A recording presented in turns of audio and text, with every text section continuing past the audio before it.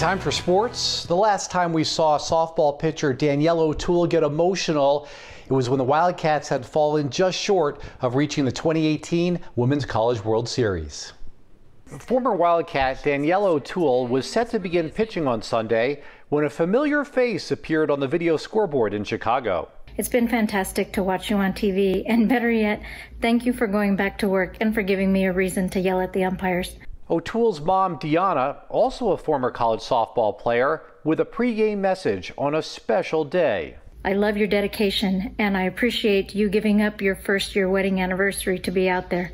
O'Toole is part of the new professional softball league called Athletes Unlimited. I want to make sure I tell you how much I miss you. That made the player nicknamed Toolie become teary.